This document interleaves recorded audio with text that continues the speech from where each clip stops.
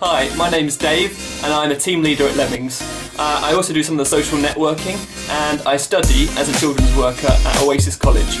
Um, I currently live in Enfield Lock and if I had a superpower, which I do, it would be to eat my meals backwards and I have that power. Let me demonstrate it to you now.